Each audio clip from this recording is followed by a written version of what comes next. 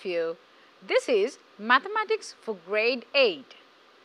Today we are going to talk about data representation and interpretation. So quickly take out your mathematics textbooks and turn to page number 122. There you can find this lesson. Right. Before moving to the lesson, I thought of telling you what you are going to learn after studying this lesson. So, by studying this lesson, you will be able to represent data in a stem and leaf diagram, find the maximum value, minimum value and the range of a collection of data using a stem and leaf diagram and find the mode, median, mean and range of a collection of raw data. Right. Now, before moving to grade 8 lesson, I thought of recalling you what you have learned in grade 6 and grade 7. Right.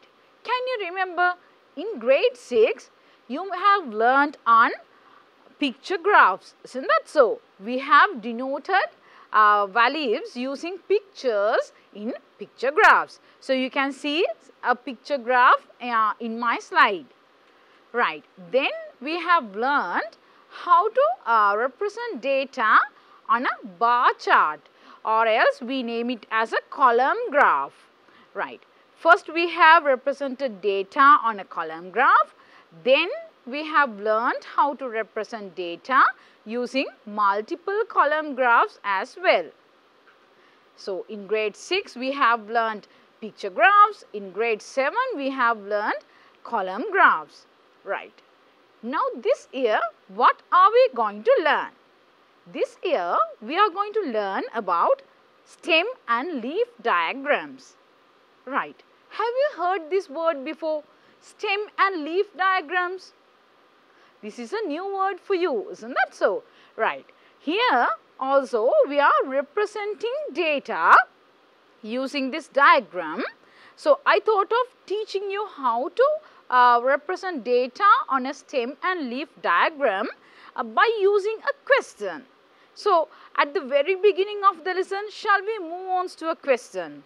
Have a look at this. 11 students have obtained following marks for a mathematics text paper in grade 8. Now, these marks are given out of 40. Right. Now, have a look at these marks and now these are the marks. 20, 24, 19, 20, 14, 8, 33, 6, 36, 20 and 35. Right.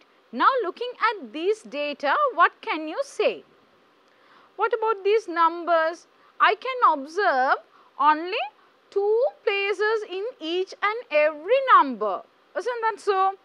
Each and every number consists of only the ones place and the tens place. Right. I have got only two decimal places. Now I am going to represent these data on a stem and leaf diagram. Right.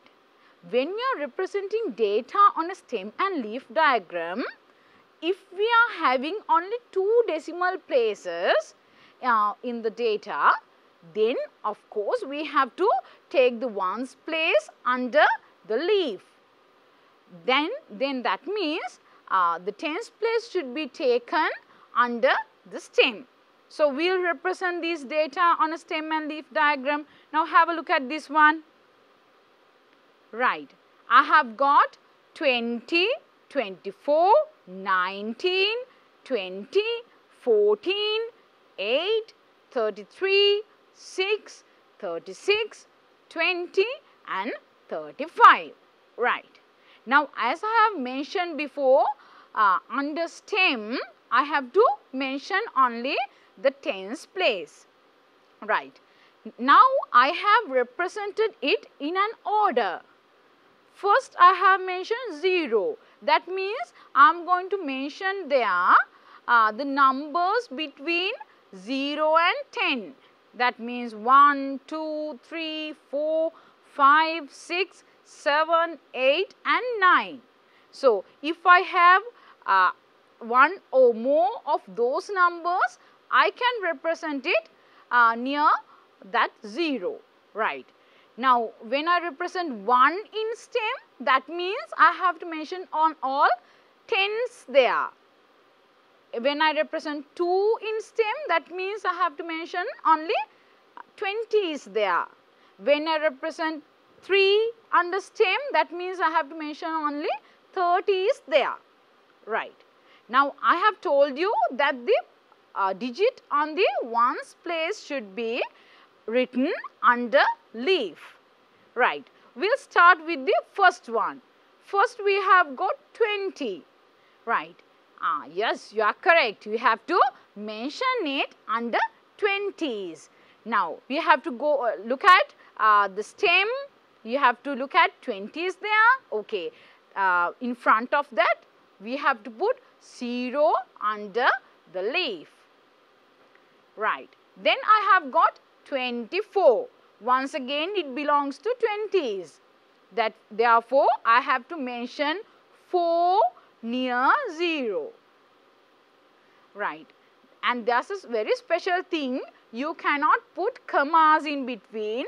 The only thing you have to do is if you have more numbers to put under the same stem, you have to keep a space in between the digits. Right. Next one, we have got 19. Ah, that should be belong, that is belongs to uh, tens, isn't that so? Therefore, I am going to put 9 in front of 1. Right. Then once again, I have got 20. Once again, it belongs to 20s. So, in front of 4, uh, in leaf, I am going to put a 0 right. Then I have got 14 that belongs to tens. Therefore, I have to look at 1 in stem side. In front of that, I have got 9 underleaf. So, in front of 9, I have to put 4. Right, once again, I can't put any commas. I have to leave a small space there. Then I have got 8. So, it is a number between 0 and 10. Therefore, in front of 0 in stem side, I have to put 8 on leaf side.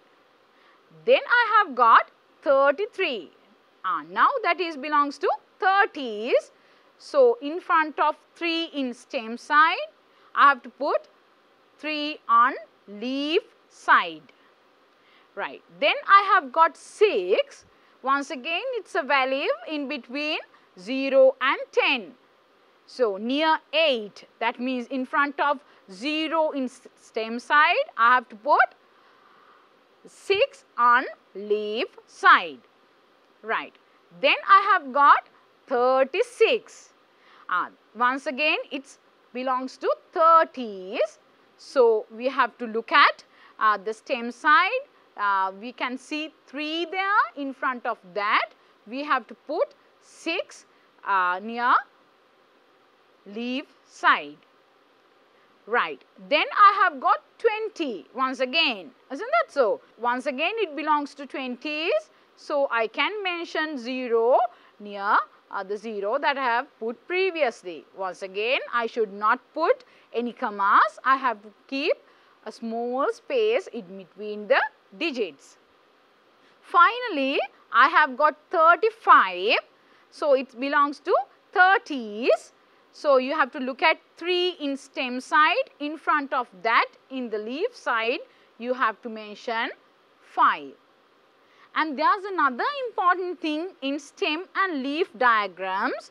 You have to write the key. That means, you have to take one of these data and you have to represent what you have meant by putting numbers in stem and leaf sides. That means, look at this.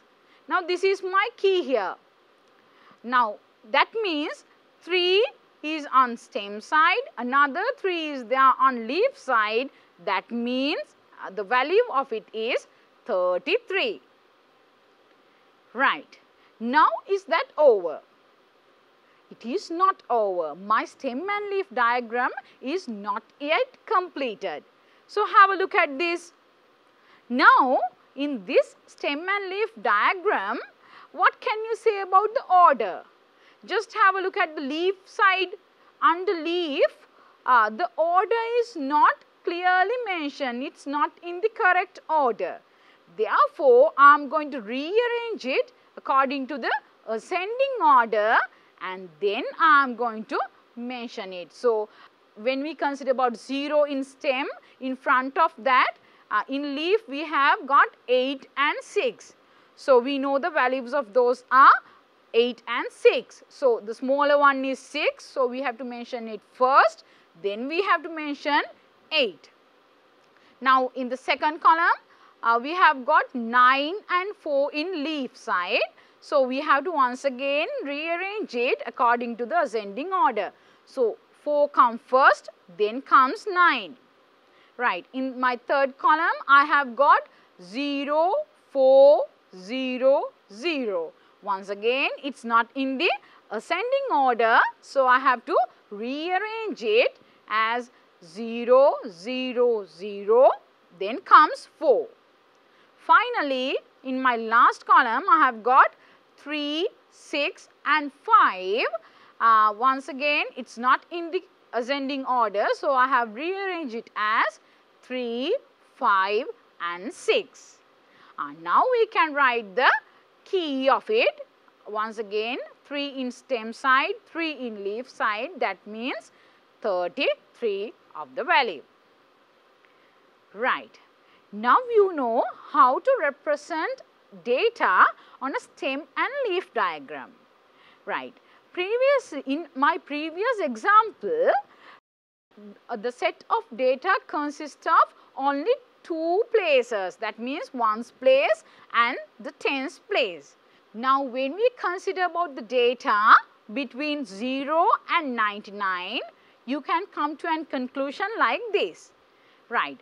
The value in the unit place of a datum is indicated as the leaf and the value in the tens place is indicated as the stem. Always we have to take the value in the ones place to under the leaf then value in the tens place under stem if we have to put only data uh, with in between 0 and 99. Right. We will move on to little bit different example. Now here we had data only between 0 and 99. Now this time I am going to have data more than that. The values are more than that. So we will move on to the next example now. Example number 2. The heights of some students in a class are given below in centimeters. Right, you also may have measured your height in centimeters. So, uh, uh, here also we have measured uh, the height of some students in a class in centimeters. So, we will have a look at their heights 118, 123, 137, 110, 145, 153, 112, 133, 142, 151, 120, 127 and finally 145. Right, here we can see all the data more than 100 but less than 200. That means we can say those are in between 100 and 200. Right. Now previously we have learnt how to represent data on a uh, stem and leaf diagram. The values of the data are in between 0 and 99. Now this time it is more than 100. Therefore, how to represent these data on a stem and leaf diagram? We will see. Right.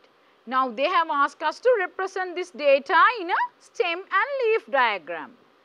This time, once again, I am going to get uh, one, the digits on the ones place under leaf. then digits on the tens place and hundreds place together under stem. Right. Now we will put this data in a stem and leaf diagram.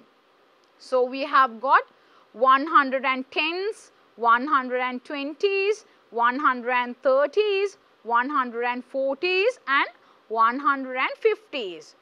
So, therefore, I have put 11, 12, 13, 14 and 15 under stem. That means I have put the uh, digit on the tens place and the digit on the hundreds place under stem. Right. Now I am going to put the digit on the ones place under leaf. So, if I get uh, 118, I have to put uh, it under leaf in front of 11. Why? It belongs to 110s. So, it should be uh, written under leaf in front of 11. Right. If I get 123, that belongs to 120s. Therefore, I have to write 3 in, in front of 12. Then if I take 137, that belongs to 130s. Therefore, I have to write 7 in front of 13. Then if I get 110, uh, that belongs to 110s. Therefore, I have to put 0 in front of 11. If I get 145, that means it belongs to 114 40s. Therefore, I have put 5 in front of 14. If I get 153, that means it belongs to 150s. Therefore, I have to write 3 in front of 15. So, when I get 112, that means it belongs to 110s. Uh, therefore, I have to write it, write number 2 in front of 11. Then when I get 133, once again it belongs to 130s. Therefore, I have to write the digit 3 in front of 13. When I have a look at 142, that belongs to 140s. Therefore, I have to write the digit 2 in front of 14. So, if I get 151, uh, that belongs to 150s. Therefore, I have to put 1 in front of 15. So, in 120 that belongs to 120s. Therefore, I have to put 0 in front of 12. So, once again in 127 that also belongs to 120s. Therefore, I have to put 7 in, in front of 12. Finally, I have got 145 that belongs to 140s. Therefore, I have to write the digit 5 in front of 14. Right. Once again, I have to mention the key. I have taken the uh, value as 137. There I have put 13 under stem and 7 under leaf. That means the value is 137. Right. Once again, is it finished? It's not. You have to rearrange it according to the ascending order. My stem is in the ascending order, but what can I say about my leaf side? It's not in the correct order. So, we'll rearrange it in the ascending order now. Right. When we rearrange it, first of all, when we talk about the first line, we have got 8, 0, 2. So, we have to rearrange it as 0, 2, 8. When I talk about the second line, we have 3, 0, 7. So, when I rearrange it, it becomes 0, 3, 7. Then what about the third line? We have got 7 and 3. So, when we rearrange it in the ascending order, it becomes 3 and 7. In the fourth line, I have got 5, 2 and 5. So, when I rearrange it in the ascending order, it becomes 2, 5 and 5. Finally, in the last line I have got 3 and 1. So, when I rearrange it, I can write it as 1 and 3. So, once again I have to write the key there. Uh, once again my key is uh, 13 in stem side and 7 on the leaf side that means 137. Now, in this example we have discussed about the uh, values in between 100 and 999. In our previous example, we had values only between 100 and 200, but this rule can be taken for the values from 100 to 999. What is this rule?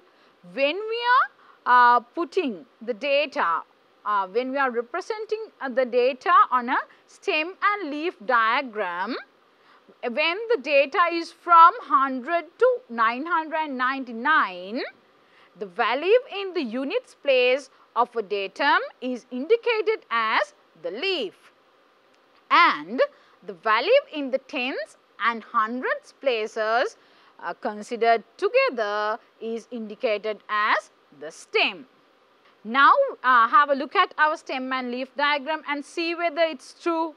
Yes, we have put only the ones place in leaf side and the tens place and the hundreds place together in stem side. Right, once again I have not put any uh, commas in between the digits, I have put only small gaps. You also have to consider about that, never put commas, you have to keep a small gap between the digits uh, in the leaf side. Now, in previous examples, we have discussed about the data in between 0 and 99, then 100 and 999. Right. What about the decimals? If decimal comes, what would happen? We'll see. Have a look at this example now. The masses of the pumpkin for sale in a certain shop on a particular day are given below in kilograms. Now, in my picture, we can see some pumpkin. Have you been to the market to buy pumpkin? Have you measured uh, the mass of pumpkin? What can you say? Uh, can you get it exactly in kilograms? Exactly whole numbers in kilograms? No, there are grams also. For an example, uh, you might get a pumpkin of uh, 5 kilograms 100 grams. So, if I want to represent it only in kilograms, it becomes 5.1 kilograms. So, if I uh, measure pumpkin of mass 5.7 kilograms, that means it has 5 kilograms and 700 grams. If I am mentioning it in grams, it is 5700 grams. Right. Now, in this example, I have got the mass of pumpkins. Right. You can observe there are decimals here. We have got 5.1, 5.5, 4.0, 4.8, 5.6. Likewise, we have got uh, the values from 3.9 to uh, 6.8 isn't that so? Now we are going to mention these values in a stem and leaf diagram. Now how to do that? In previous cases I have told you to put the digit on the ones place under leaf and a rest of the digits under stem. But in this case since it has only one place in decimal side, I am going to put the digit in the decimal place. That means digit in the, on the first decimal place under leaf and I am going to put the value in the ones place under stem. So, we will have a look at that one. Right. Now, I am representing it in a stem and leaf diagram. Right. Now here uh, under stem I have represented the digits on the ones place. So, the leaf I have represented the digits on the first decimal place. Right. Now, it is a little bit different uh, when we compare to the previous ones. Isn't that so?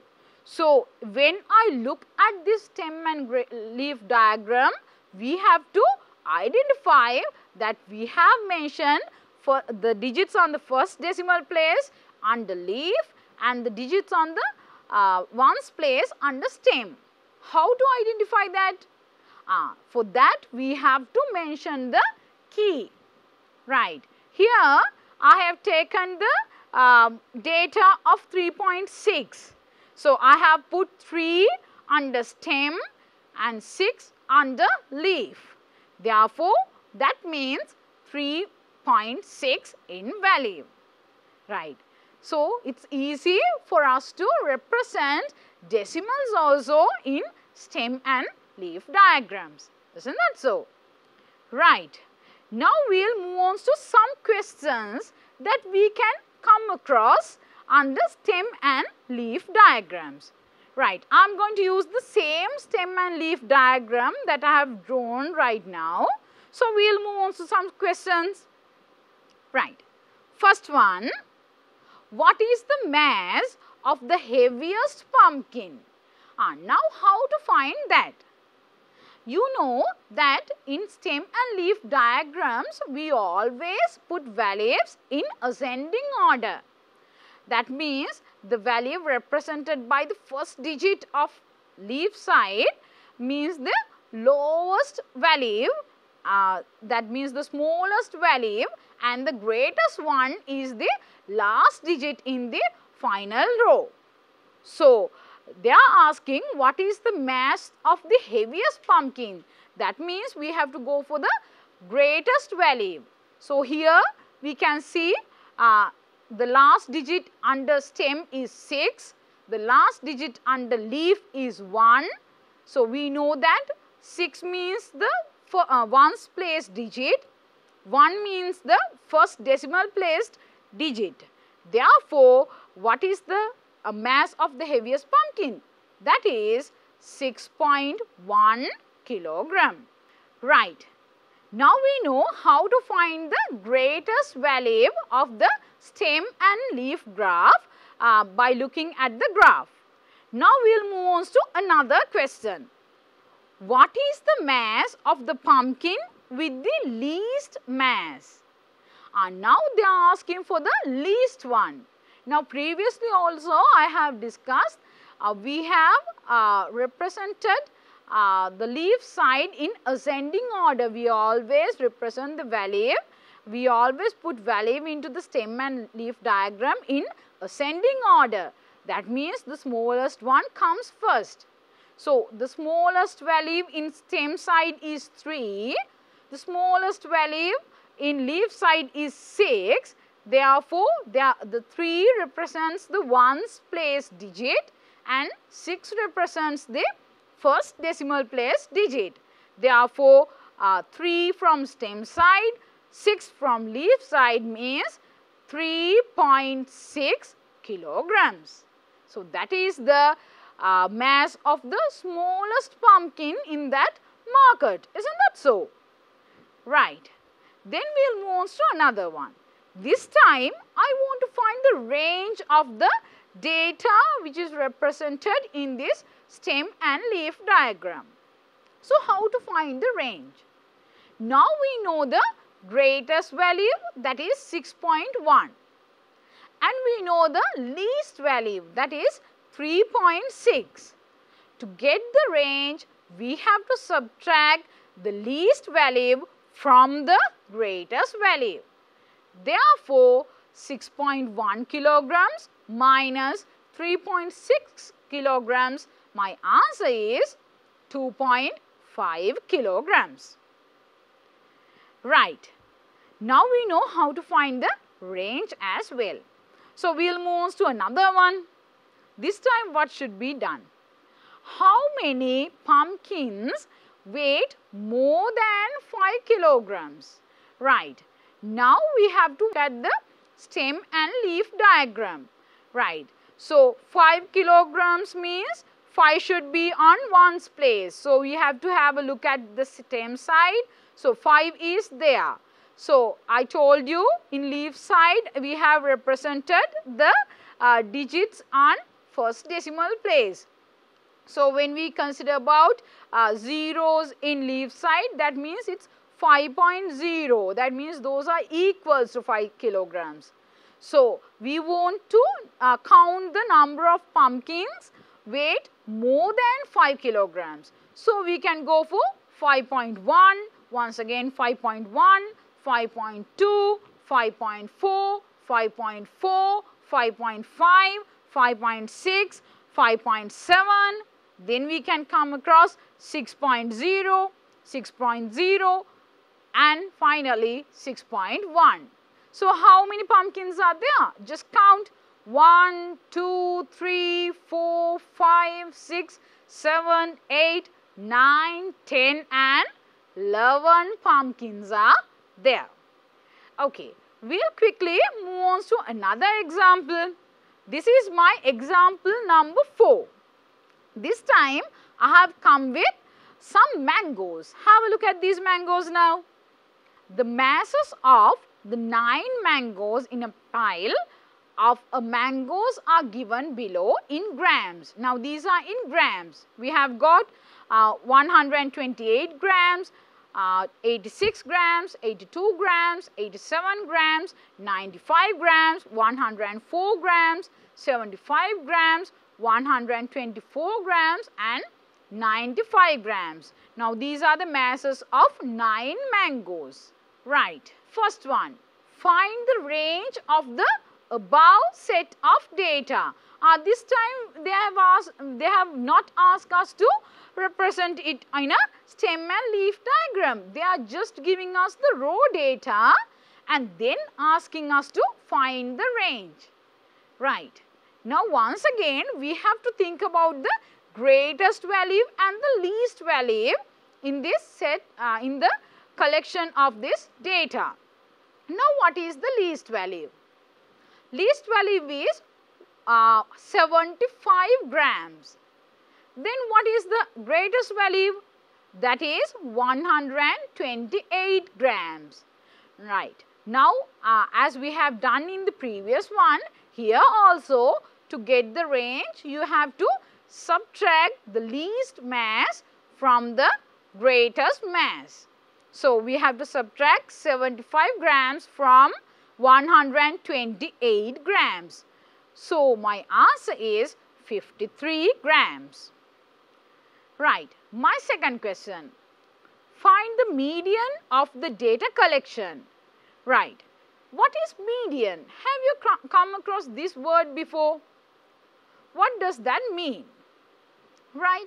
When the data is arranged in ascending order, median means the mid value of the collection of data.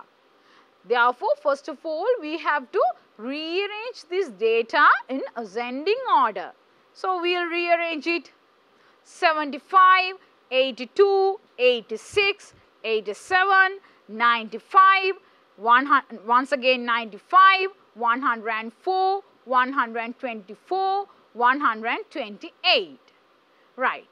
Now we need to find the mid value of it. Since it has 9 uh, data, that means the number of data is a odd number. So we can easily find the mid value of it. Right. So, we have to find the value at the center. So, how to find that? We have got 9 data there. So, I am going to add 1 and then divide the uh, addition or divide the sum by 2. So, 9 plus 1 is 10. 10 divided by 2 is 5. So, the fifth data is the median of the set of data. How to count that? We have to first rearrange it in ascending order. Then we have to uh, find the fifth data. So, 1, 2, 3, 4 and 5. So, my fifth data is 95. Therefore, the median can be taken as 95. Now, uh, this method can be used for any set of data uh, with odd number of uh, datas in it. So, if you have odd number of datas to find the median, step number 1 you have to rearrange it in ascending order. Then you have to add 1 uh, to the number of data and get the sum and divide it by 2 then you can find the place where your median is. Right. Now, this differs uh, when you have even number of data. We will talk about it later on. Right. Then the next question. Find the mode of the data collection. Now, we have to think about the mode. What is this mode? Have you come across the word once again? We will see in a collection of data, some of the values could be identical. The value which occurs most often is called the mode of that collection of data. Right. There can be more than one identical values in a collection of data. But when we have a look at this collection, we have only one identical value. 95 is there for 2 times, isn't that so? So, 95 is the value which occurs most often in this collection of data. Therefore, I can say the mode of this collection of data is 95 grams. Right. Then the next one. Find the mean of the data collection. Right. So, first we found the range, then we came for median, then the mode, now finally the mean. What does that means? How to find the mean? Before moving to uh, this question, I thought of asking you a question. Can you remember how your average is calculated after uh, obtaining the results of your term tests? after obtaining the results of the, your term test, your teachers or your parents might have calculated the average. How did you do that? You have add all your marks together and divided it by the number of subjects you have sat for the examination. Isn't that so? Once again, I'll say you have add uh, all your marks together and divided it by the number of subjects that you have set for the examination. Then you got the average. Now here the mean is also the same. Here also we have to do the same thing. We have to add all the values together. I have got uh, some values so I can add 128 plus 60, uh, 86 plus 82 plus 87 plus 95 plus 104 plus 75 plus 124 plus 95. Then I have divided the uh, uh, sum by the number of data. Here I have got 9 data in my collection. So, I have divided the sum by 9. Right. Uh, the sum is 873 when I divide it by 9, I can get the answer as 97. So, the mean of this data collection is 97 grams. Right. We will once again move on to another example. We will see this example may be little different from the previous one. We will see the number of bread for sale in a certain bakery on a particular day are given below. I'll say it once again. The number of bread for sale in a certain bakery on a particular day are given below. So, we can re uh, read it out 43, 40, 39, 37, 43, 47, 47, 55, 36 and finally 42. So, first of all we have to find the range of the above set of data. Right. Now, you know how to find the range. First of all, you have to come across the highest value or, or the greatest value. Then you have to subtract the least value from that. So, here 55 and the least value is 36. So, we have to subtract 36 from 55. Then my answer is 19.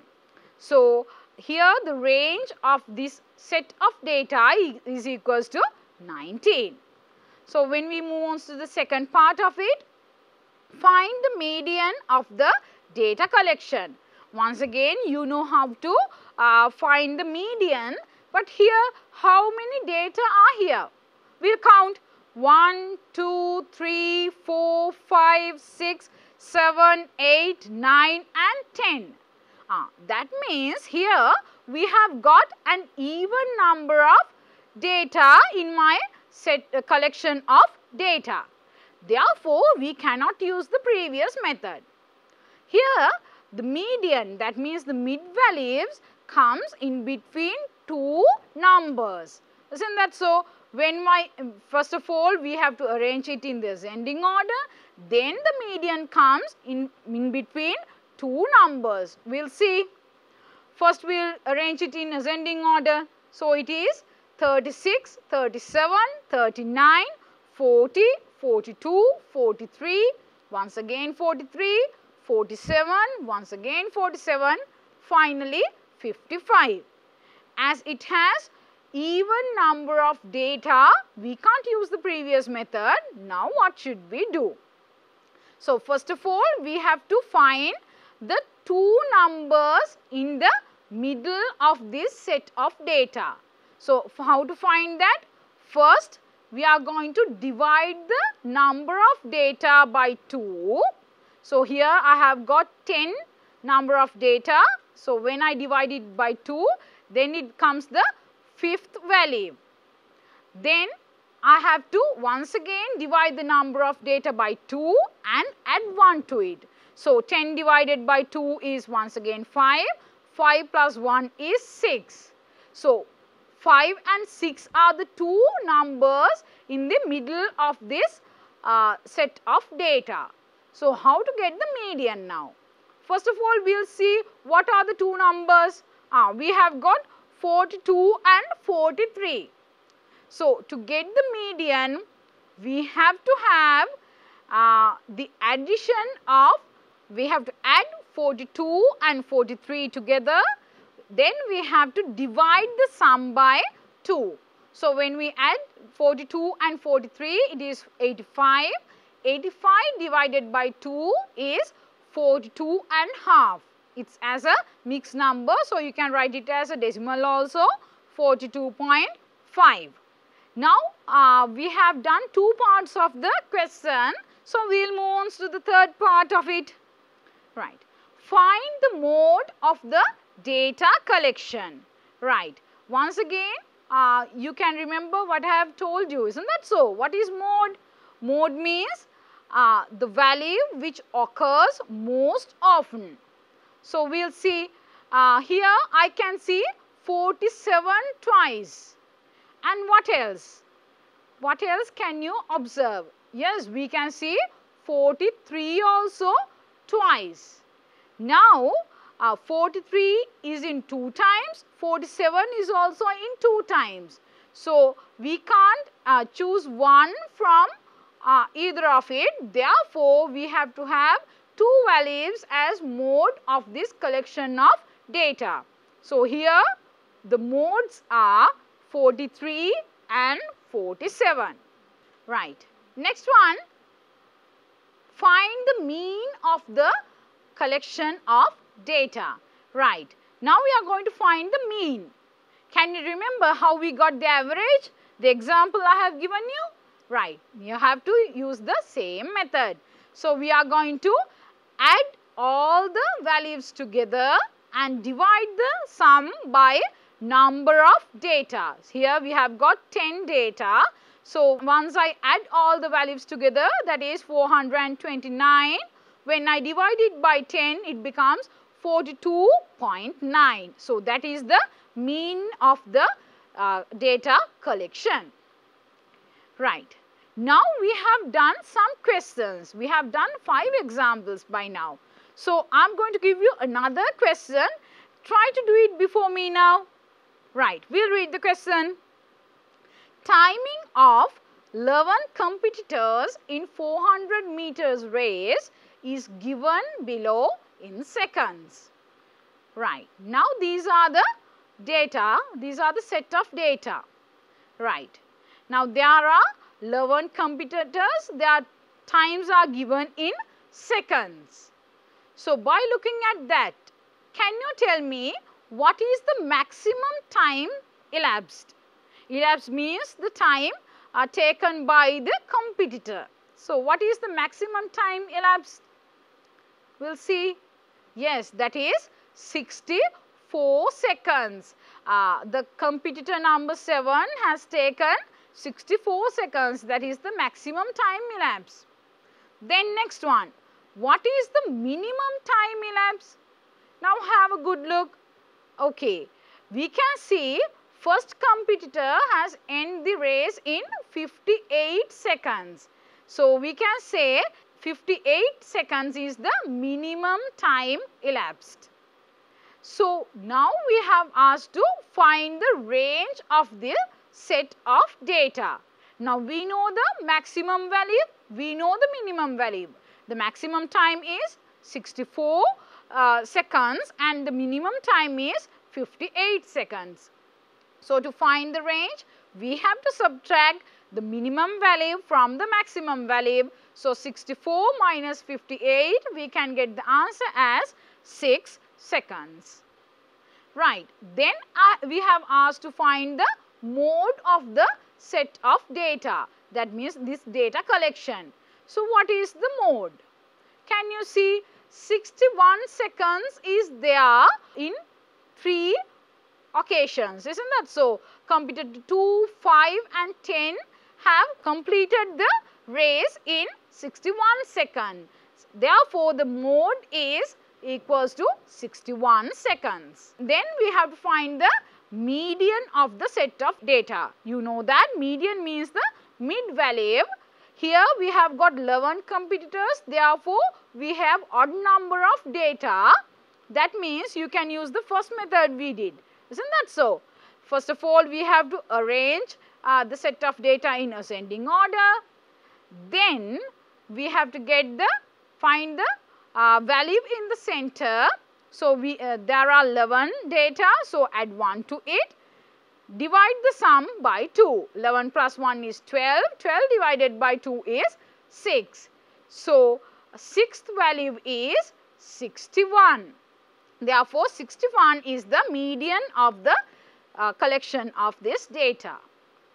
Now, we are going to uh, go for a question in your mathematics textbook.